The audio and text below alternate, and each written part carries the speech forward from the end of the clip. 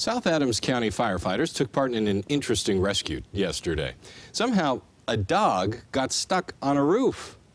Max, the German Shepherd, likely jumped from the balcony to the roof. Firefighters assisted Commerce City Police and Animal Control to get Max safely off that roof. South Adams County tweeted out this uh, picture and wrote, Max was extremely excited to be back on the ground.